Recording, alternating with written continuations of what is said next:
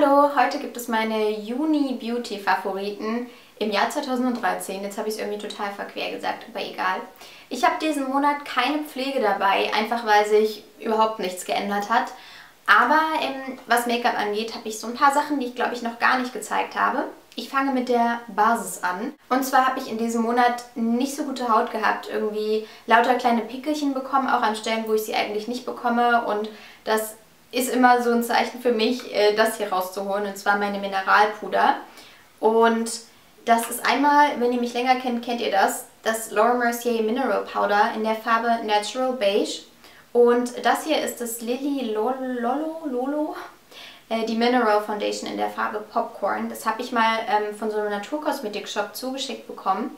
Echo Verde heißt der, Echo-Verde.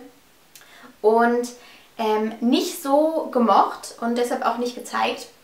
Aber ähm, da das mir jetzt nicht mehr ähm, perfekt genug war, ähm, habe ich die beiden gemischt und das war echt ein guter Mix.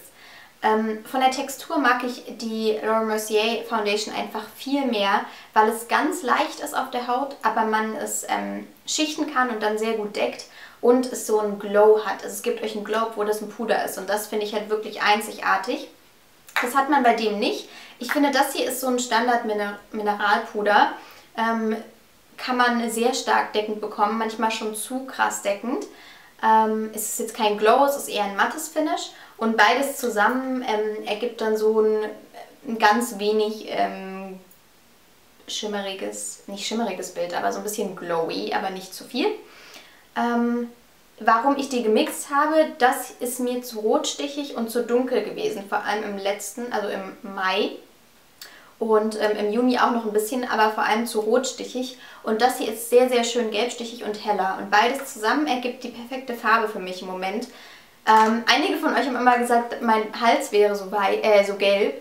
Ähm, es ist einfach, mein ganzer Körper ist gelb, nur mein Gesicht nicht, weil die Foundations nicht gelb genug waren. Also falls ihr eine sehr gelbstichige Foundation kennt, äh, gebt gerne Bescheid. Ich glaube, die Bobbi Brown Foundations sollen ganz gelbstichig sein. Und ich mag das eben sehr gerne in solchen Momenten, weil dann zumindest klar ist, dass es ähm, nicht äh, mehr von der Foundation kommen kann, äh, weil da einfach nicht so ein Mist drin ist und ähm, die Inhaltsstoffe sehr, sehr überschaubar sind und dann kann ich halt schauen, wenn es nicht besser wird, ähm, wovon kommt es genau. Dann habe ich in diesem Monat ein Bronzer bzw. für die meisten äh, Konturpuder für mich entdeckt von dem ich eigentlich dachte, ich mag es einfach überhaupt nicht.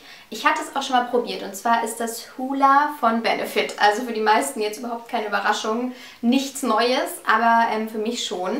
Äh, ich habe das in diesem Set äh, The Bronze of Champions bekommen und ähm, das ist so ein Set bestehend äh, aus, hier ist es hinten drauf, ähm, der Real Mascara, ähm, Hula Bronzer, What's Up Highlighter, Thanks Thanks a Latte, äh, Lidschatten, also Puderlidschatten, Bikini, Teenie, Creme, Creme Eyeshadow, Creme Lidschatten und äh, dem Hula Lip Gloss.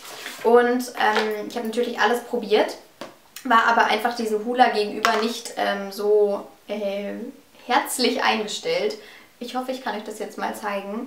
Das hier ist Hula und ich hatte in Erinnerung, dass er extrem schlammig und kühl war. Er ist aber warm und hat so einen Orangestich, so peachy orange. Und das ist ja eigentlich genau mein Schema. Ähm, deshalb habe ich mich gewundert, was da los war. Und dann habe ich ihn be äh, benutzt und ich finde ihn grandios, weil er den ganzen Tag hält. Ähm, er das Gesicht finde ich, ich finde ihn nicht so toll als Konturpuder, also benutze ich sowas, ich benutze sowas nicht. Aber ähm, zum Bronzen, weil er einfach dieses warme, total schön ähm, warmen Unterton hat und wie gesagt den ganzen Tag hält. Und das ist bei mir wirklich sehr, sehr wichtig, weil ich ja den ganzen Tag unterwegs bin. Und äh, ich muss auch dazu sagen, äh, die äh, Foundations zusammen halten wirklich ewig und das war eigentlich egal, welchen Bronzer ich drüber gemacht habe, er hat den ganzen Tag gehalten, was sehr gut ist. Aber auch mit einer anderen Foundation hat dieser ähm, Bronzer den ganzen Tag gehalten und das ähm, rechne ich ihm wirklich hoch an. Übrigens, äh, falls ihr irgendwie einen Look haben wollt mit diesem Set oder so, ähm, weil das ja eigentlich schon dazu animiert, alles zusammen zu benutzen und das ja eigentlich ähm, sehr schöne Brauntöne sind und das ja genau mein Ding ist, könnte ich mich, wenn viele von euch das wollen, äh, mal daran versuchen, da irgendwie was draus zu zaubern. Ähm, also gebt Bescheid, dann kann man vielleicht auch eher überlegen, ob man sich das Set kauft und nicht äh, die einzelnen Produkte, weil es preis-leistungsmäßig ja doch schon um einiges günstiger ist. Aufgetragen habe ich Bronzer in diesem Monat ausschließlich mit dem äh, zur Eva 101 Lux Face Definer und ähm, der sieht so aus, also eigentlich ganz weiß, aber äh, in meinem Fall ist er jetzt doch schon äh, ziemlich braun. Den habe ich vor einer ganzen Weile von zu Eva zugeschickt bekommen mit anderen Produkten, deshalb weiß ich gar nicht, ob es den noch gibt. Ich habe den aber nie so richtig benutzt. Also ich habe ihn einmal äh, am ersten Tag benutzt und fand irgendwie, dass er nicht so weich ist.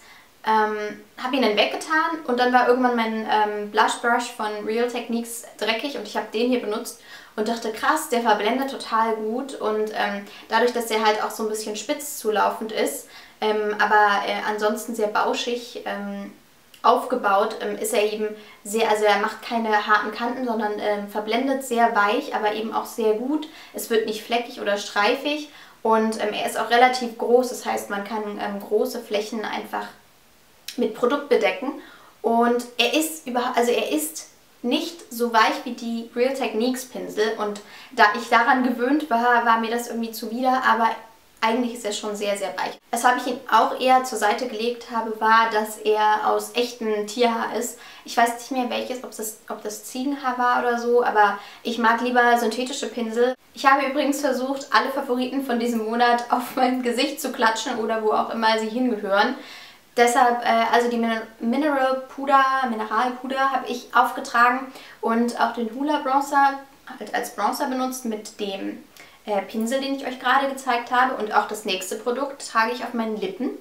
Und zwar ist das ein Lippenstift von Rimmel. Das ist äh, einer von diesen Kate Moss for Rimmel äh, Lipsticks.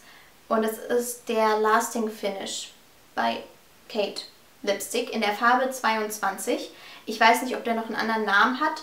Äh, ich weiß, es gibt zwei verschiedene Kate Moss Richtungen. Einmal die roten und einmal die schwarzen. Eine Reihe davon ist ähm, matt, aber ich glaube, der nicht. Jetzt bin ich mir nicht mehr sicher. Aber was ich sagen wollte, ich finde diese Farbe unglaublich schön, total schmeichelhaft, wenn ihr einen warmen Unterton habt. Ähm, bei mir ist es ganz oft so, kühle, pinke Töne finde ich total schön, lassen mich aber irgendwie komisch wirken und passen einfach nicht so gut zu meinem Hautton.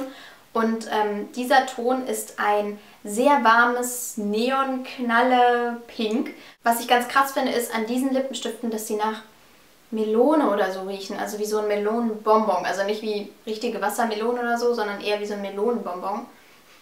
Gallia oder Honigmelone oder so. Richtig lecker.